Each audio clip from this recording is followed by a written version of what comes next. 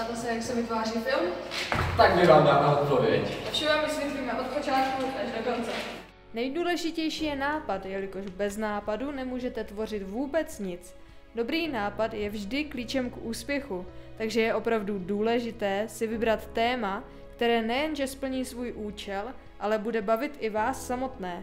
A navíc nápadům se meze nekladou, je to opravdu jen na vás. Další důležitou věcí je scénář, který není vůbec jednoduché napsat. Scénář nelze vynechat, i kdybyste chtěli natáčet třeba němý film. Je to totiž zároveň kostra celého filmu. Potom musíte vše pečlivě naplánovat. Je důležité mít plán o tom, kde, kdy a čím se bude pracovat. Nyní přichází čas na přípravu natáčecích prostor.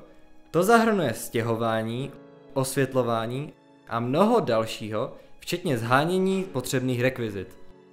A teď konečně nastává čas samotného natáčení, což je vlastně hlavní část celého procesu. Jakmile máte záběry, můžete se posunout ke střihu. Podle nás je právě tato pasáž nejobtížnější. Kromě střihu se zde upravuje audio, jas, různé detaily a podobně.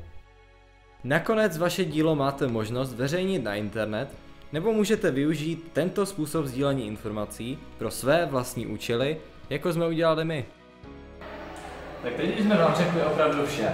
Doufáme, že se vám náš způsob edukativního filmu líbil a že jste se možná i něco málo přiučili.